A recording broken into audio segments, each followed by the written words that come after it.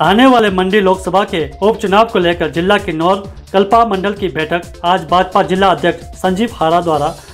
रिकोंगपियो में की गई। उन्होंने कहा कि संगठन को मज़बूत बनाने के लिए बूथ सतर पर पन्ना प्रमुख, पन्ना कमेटी का भी गठन किया जा रहा है। किन्नौर भाजपा अध्यक्ष संजीव हारा ने कहा, जिस तरह पिछले लोकसभा चुनाव में भाजपा प्रत्याशी को बारह मतों से बढ़त मिली,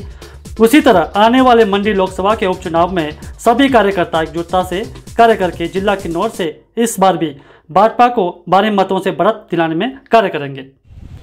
आज के इस प्रेस वार्ता में हमारे साथ ज़िले के महामंत्री भाई चंद्रपौल जी, मंडल के अध्यक्ष कल्पा मंडल के अध्यक्ष भाई परविंदर जी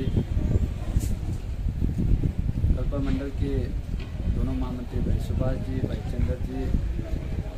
और हमारे कल्पा ब्लॉक की बीडीसी चेयरमैन आदरणीय गंगाराम जी। आज संगठन की दृष्टि आज तक के तीन दिवसीय जो हमारा तीनों मंडलों में विचार, कल्पा को आज कल्पा मीटिंग क्रांति मीटिंग आज संगठन की दृष्टि से समाप्त हुआ है और संगठन की दृष्टि से जो आज तीनों मंडलों में हमारा जो प्रदेश द्वारा जो निर्देश संगठन जिससे हमें दिया है, जो संगठन हमें आगे से निर्देश दिया है, उसमें पार्टी ने जो हमें भू सतर पर, खासकर दो तीन बिंदुओं पर